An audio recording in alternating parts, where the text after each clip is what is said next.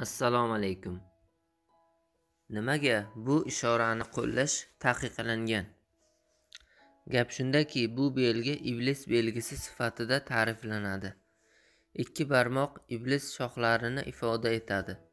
Ular xudo yagona emas uning sherigi bor degan ma'noni ham beradi.